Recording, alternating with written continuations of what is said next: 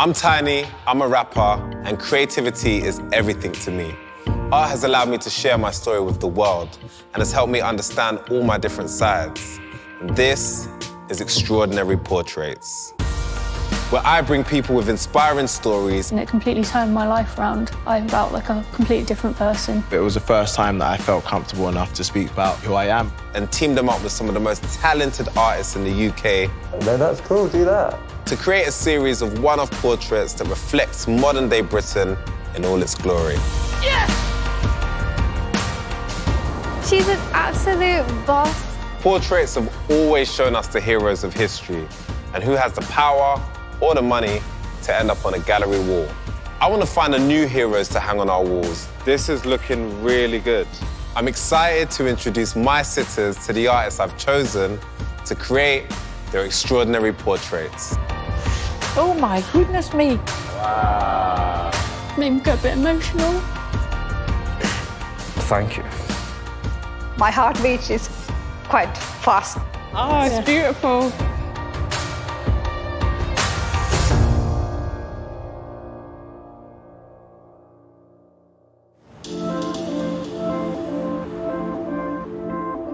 I know in music, if you get the right people together, the collaboration can be magic. Like music, portraits have the power to evoke emotion, tell a story, and that's what I'm really excited about bringing together world class artists with incredible everyday people that have really inspiring stories. Like Harriet, who has come from the Shetland Isles to meet the artist who will paint her portrait.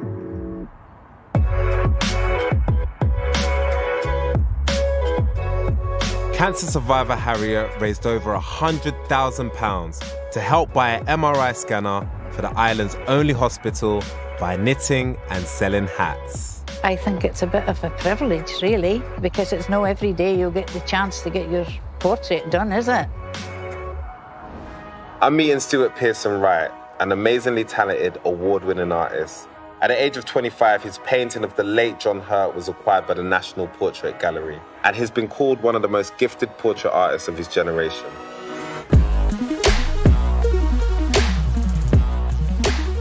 Stuart has a very distinctive style. He's known for his figurative paintings and irreverent, sometimes humorous tone. Hey, Stuart. Hi. How have you been? It's been good, thanks, yeah. Good, man. Like the whole, you know, it's working. I like, I like your whole Thank you. thing as well. I like the zebras and the giraffes. Got to do your bit, haven't Exactly, exactly. It's working, man. Feel free to have a seat. Where did you travel from today, Stuart? The Badlands of Suffolk.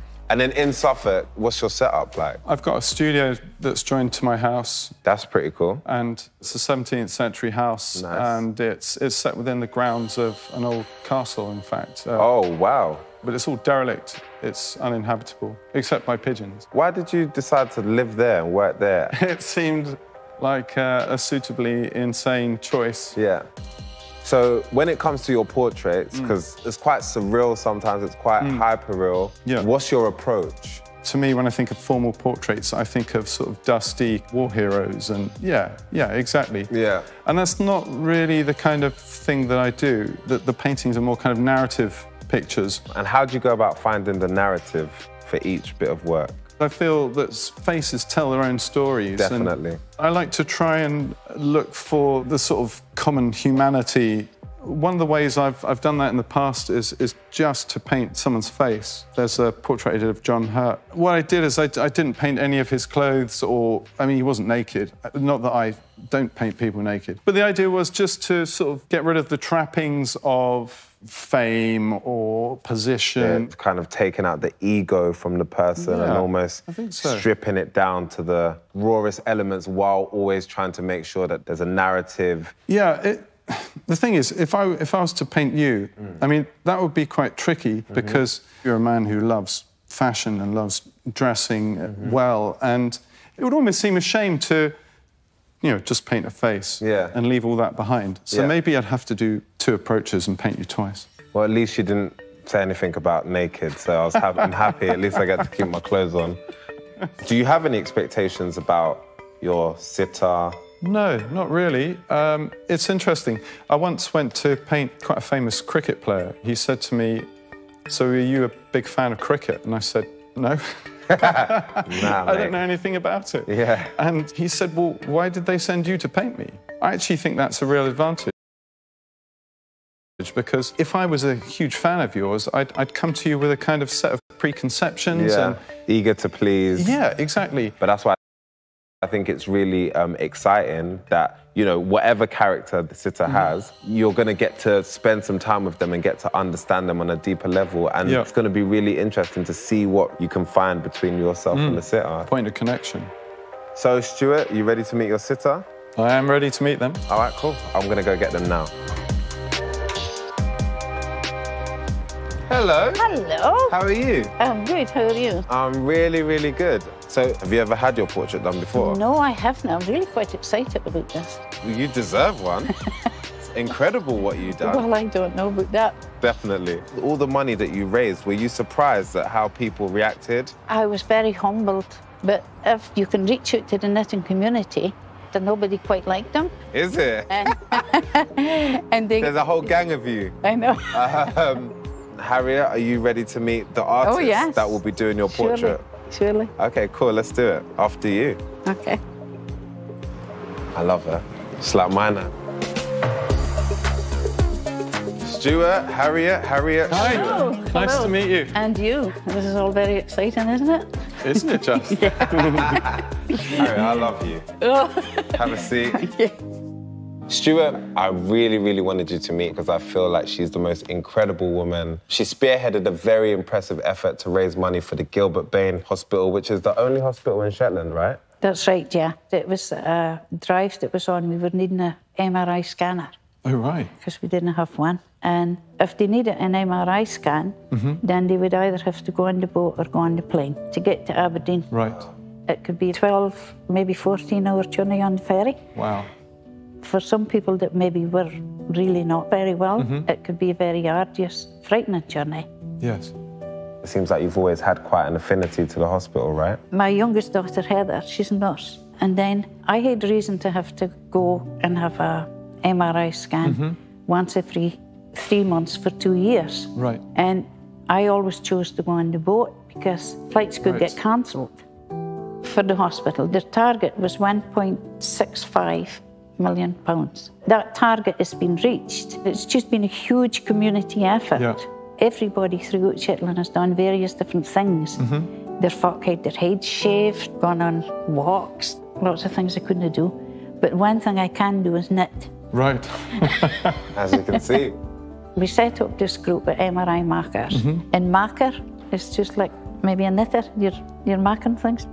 People would order the hats and it went on Twitter, it went everywhere. It really just took off. So where, where were you actually selling the Well, we products got- you were making? We got orders for it all around the world now. I think it's, it's all really incredible what, what you've done. Is, is it rude for me to ask how much money you raised? Well, it was 103,000. Amazing. 466 pound and 87 pence. to the penny. Congratulations.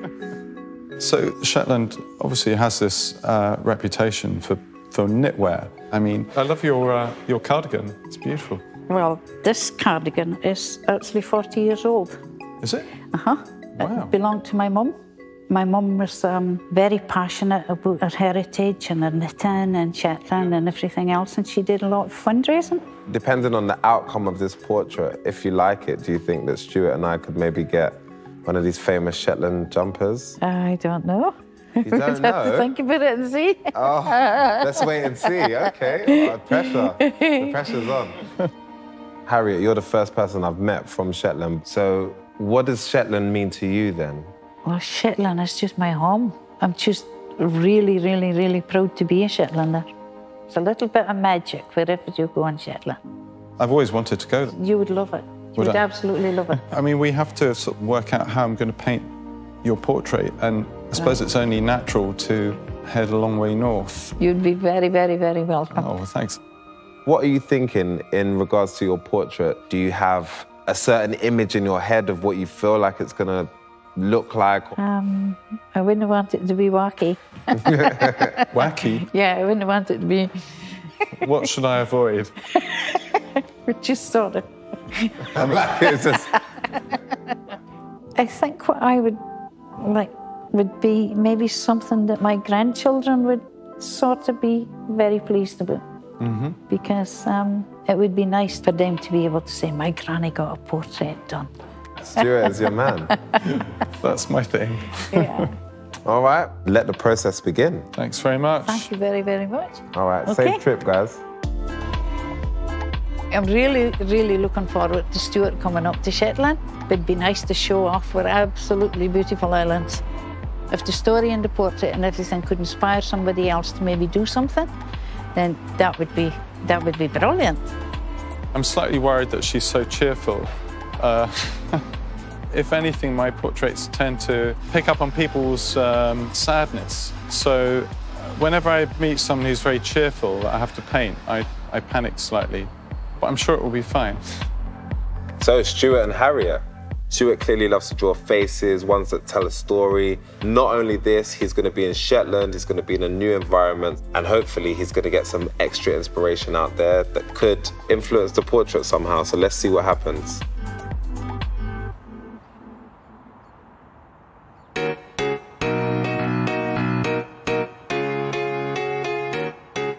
So this is my studio. We've got a selection of goodies here, drawings and sketches, my father-in-law, my son, that's me there in profile. Stuart likes to play with perspective and space around the figures in his paintings to create original and surprisingly bold images. This is an old beard that's being kept for an unknown purpose. I might incorporate that in painting at some point. Those uh, beautiful colours at the top are pigments, and I just put those up there to give people the impression that I make my own paints when actually I just buy them from the shop. I must admit, I'm mainly interested in drawing quite decrepit looking elderly men. Perhaps I'm sort of projecting onto them in some way. These kind of lived in faces, and I have in the past sort of stopped people on buses to ask if I can draw them, and that's met with mixed results. It has borne fruit sometimes.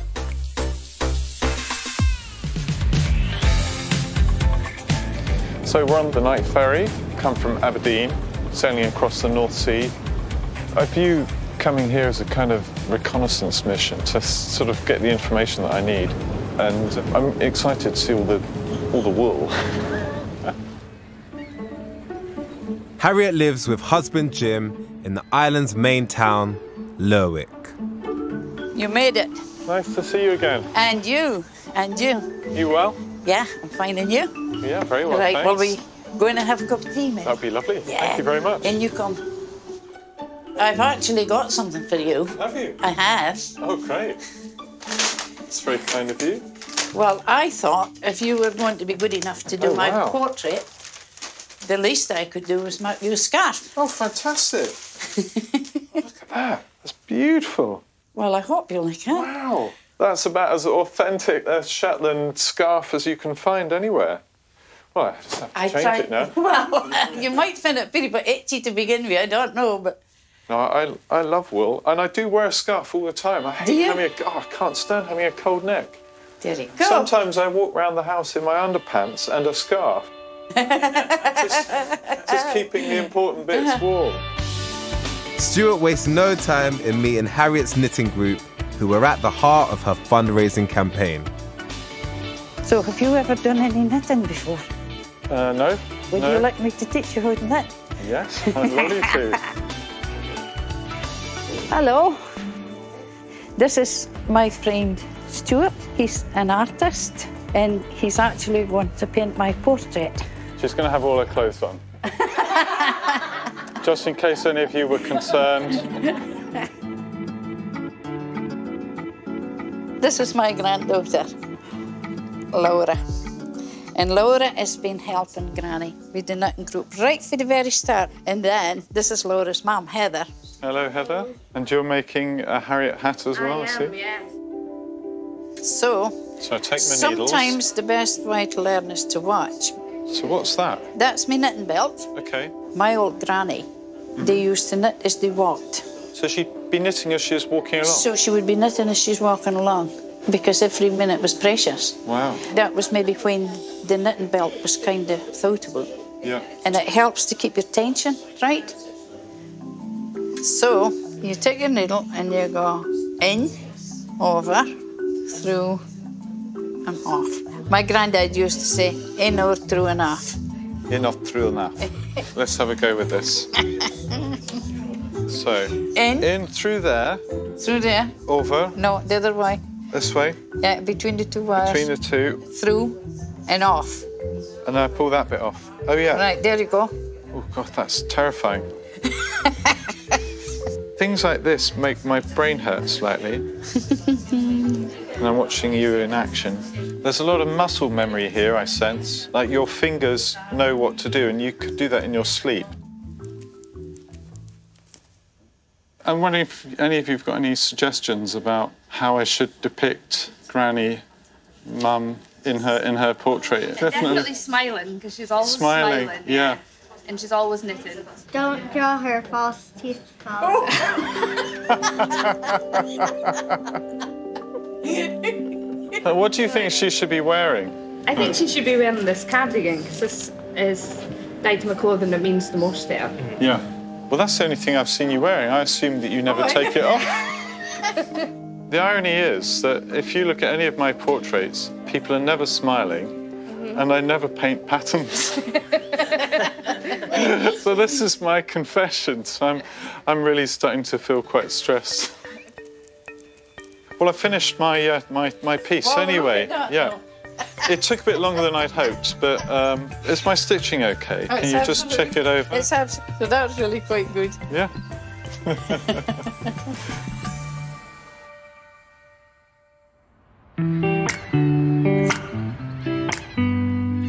so you'll be here, and I'll be here, and I might set up another little light over here. If I'm looking at you in a weird way, I'm just thinking about the light at the It's okay. it's nice to have two different coloured lights so that I can sort of fill in the shadows a little bit with a, a different colour. I think everything's in the right position. I just need to just need to draw Harriet now. yes, I'm working with a little bit of charcoal, and then I've got these um, pencils. Do you remember how old you are when you first picked up set Nothing. needles? Yeah.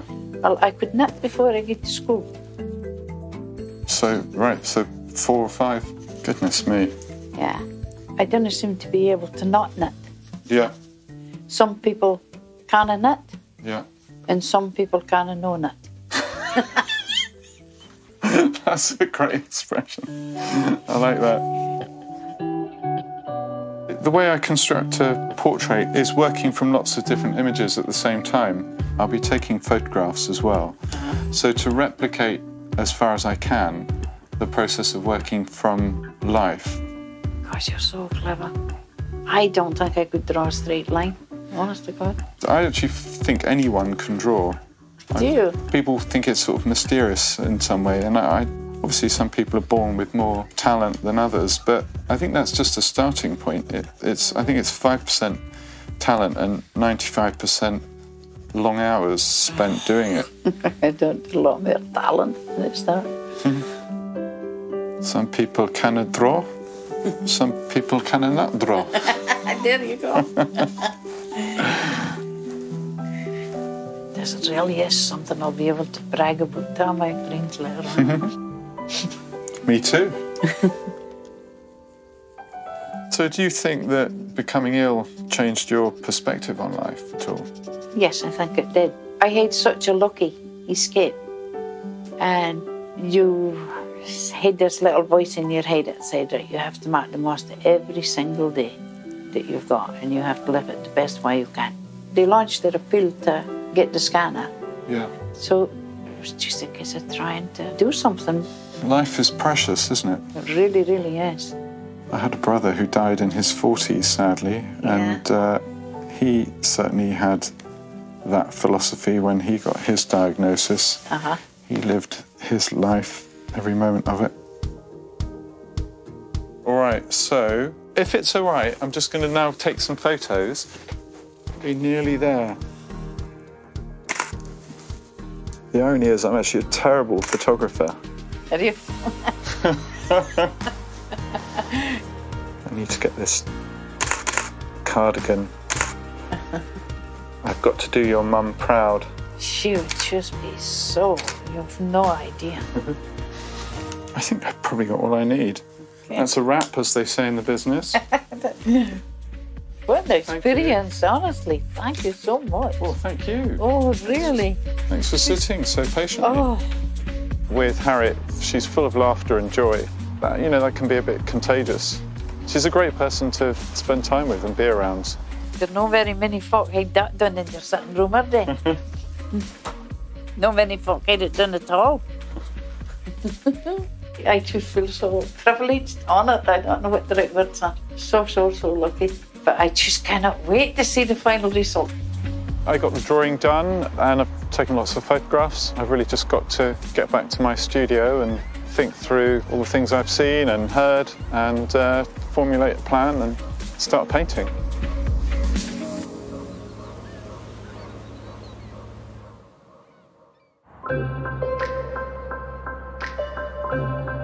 After his trip, Stuart gets to work capturing Harriet in the only way he knows. It's strange. I'm trying to just get her nose right. I'm trying to get her expression and her warmth.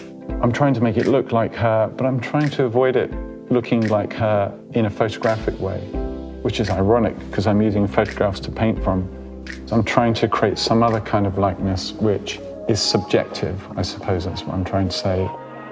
I don't often paint people smiling, but it was impossible not to paint Harriet smiling. It's just, it's quite hard to paint someone smiling and not make it look like a kind of rigor mortis grin. So I'm hoping to avoid that. I'm really going to be leaving my comfort zone in trying to depict these sort of Shetland knitting patterns. I can't say I'm looking forward to that part of it. I did enjoy painting her nose. You know, it's a, it's a good nose.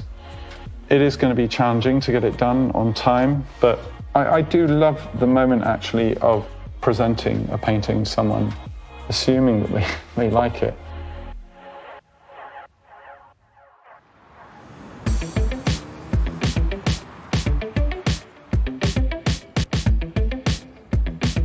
Eight weeks after meeting Stuart, Harriet is back to see her portrait for the first time.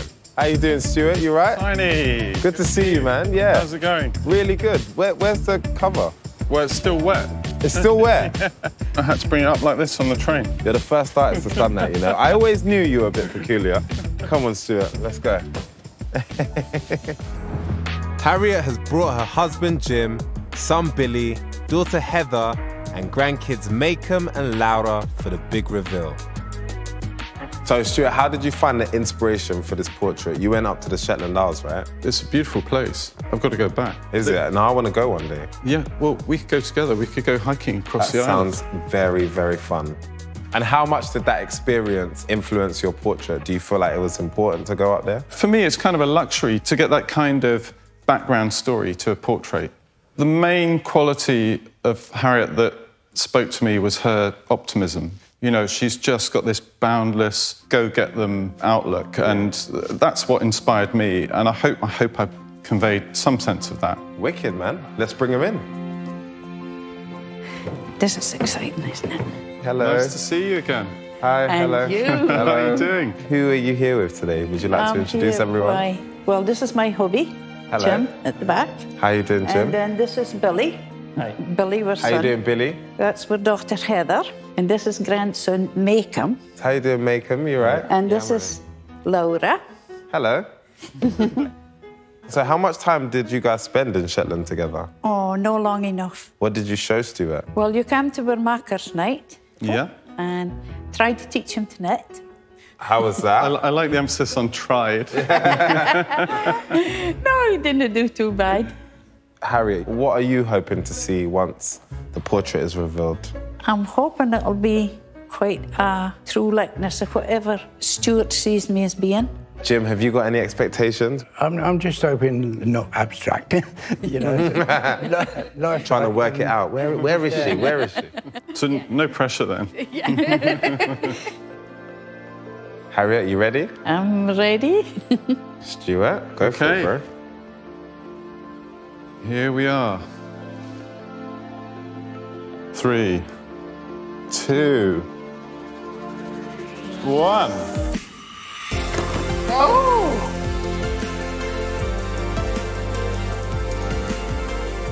Wow! that is really lovely. I can't believe the detail that you've got into all that. Gosh. It's really captured the essence of who she is, smiling, knitting. You can see her personality coming through the painting. Stuart said when he was up in Shetland that he'd never done a, a smiling person before. but I think he's done such a such a wonderful job and can stay in my heart anyway. And thank you very much, Stuart. You're very welcome. What do you think, Laura? Fabulous. Fabulous. Fabulous. Can I use that quote? Is that okay?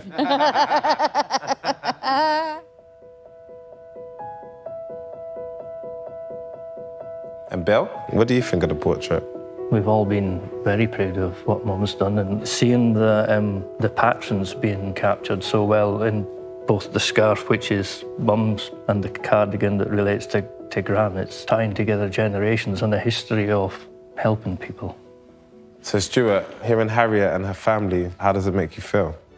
Relieved? yeah, I think I need a, a little tot of Shetland whiskey now, just to, Good stuff. just to calm my nerves. No, it's oh, I'm, I'm delighted, and um, I have some exciting news. The painting is going to the Shetland Museum. oh! Oh my goodness me. Yeah,